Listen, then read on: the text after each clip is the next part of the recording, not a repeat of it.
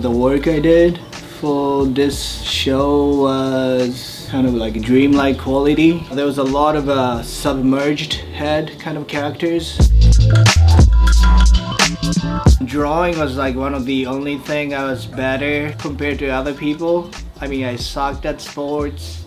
I couldn't sing well, but I knew like drawing was like something I was good at.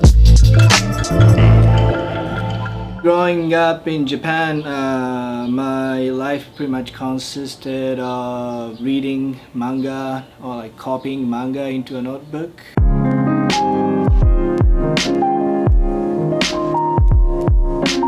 I like to have the nonchalant kind of a stance to the art.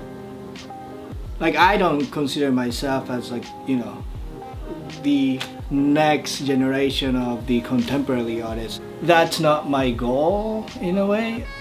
I'm pretty sure I'll be mature enough one day to be able to understand what the other artists are trying to do but at this time I like seeing art that can like, you know, puts me in a good mood. With this installation, uh, I called it uh, Home Away from Home. Uh, I wanted to create a type of installation that looked interesting from the far, but once you get close, like you get to find like a little bit more. I wanted to make something positive, something that could put a smile on your face.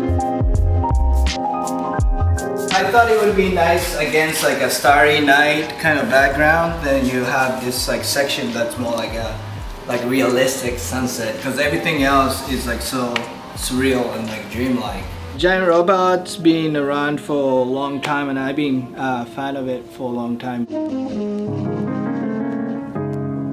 Showcasing my art in the same space some of my favorite artists showed before and to be part of like a Giant Robot's you know, history, it's kind of cool.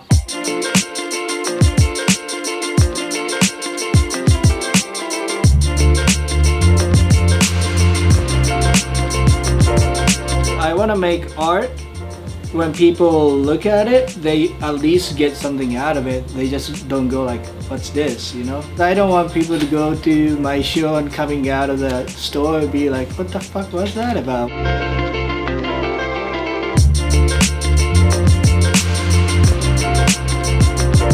If people come to the show and they you know get out of GR like a little bit happier or even just with a smile think you know I did good.